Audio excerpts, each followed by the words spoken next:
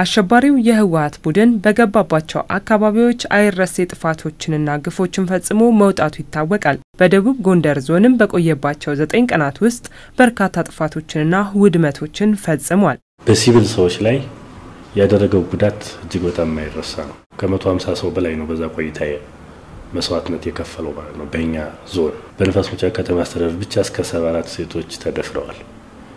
ሰባ አራት እነዚህ እህቶቻችንና እናቶቻችን በግልጽ ስላወጡት እንጂ በትክክል በውስጣቸው ደብቀው መናገር ያልፈለጉ ግን ደግሞ መከራው የደረሰባቸው ብዙ ናቸው በቁጥር ጤና ተቋም ላይ በተለይ ሆስፒታልና ጤና ጣቢያዎች ላይ ትምህርት ተቋማት አንደኛ ደረጃም ሁለተኛ ደረጃም ብዙዎቹ ጠፍተዋል። ጠላት በገባበት ወረዳዎች ላይ ጋይንት፣ ንፋስ መውጫ፣ ጉና በየምድር፣ ፋርጣ በተወሰነ ደረጃ እስቴ እስከዚህ ድረስ ማለት ነው እና በነዚህ circle ውስጥ ያሉ የመንግስት ተቋማት almost ወድመዋል።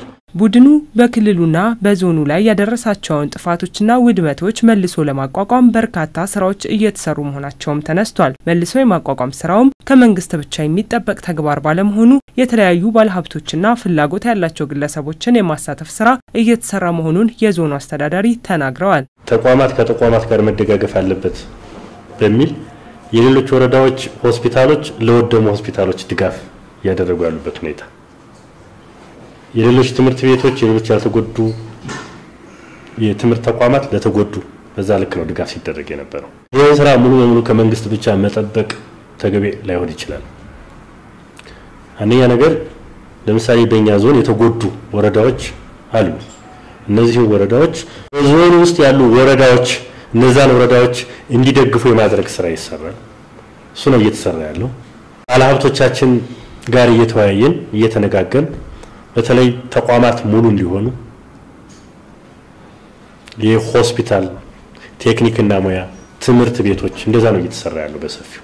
መልሶ የማቋቋም ተግባር ሲታሰብ ልማትና ኢኮኖሚ ጎን ለጎን መሄድ ይኖርበታልና የግብርና ዘርፉን አቅም ለማሳደግና ዘመናዊ ለማድረግም እየተሰራ ነው። ለዚህም በዞኑ ብቻ ከዚህ ቀደም ተሰርቶበት የማያውቀውን የመስኖ ስንዴ ልማት በአምስት ሺህ ሄክታር ላይ የመዝራት ስራ ተከናውኖ ከፍተኛ ትኩረት ተሰጥቶት እየተሰራ ነው ብለዋል አቶ ይርጋ ሲሳይ። የግብርና ምርት የሚያሳድጉ ስትራቴጂዎች ላይ ትኩረት አድርገን እየሰራ ነው።